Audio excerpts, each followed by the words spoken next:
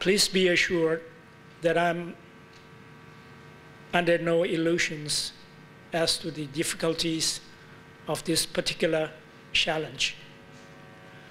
Decades of neglect and injustice followed. Most recently, by five years of political motivated, ill conceived meddling and strong arm tactics cannot be erased overnight.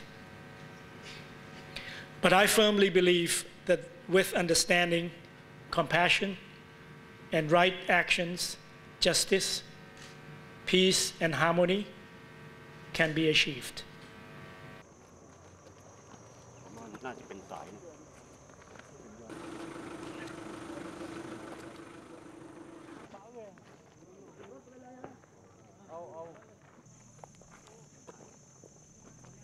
Deadlines, or at least are subject to deadlines.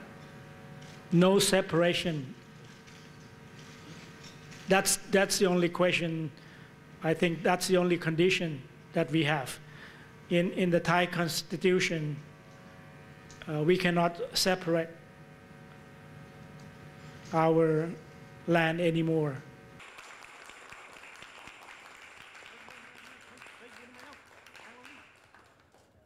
That I, I had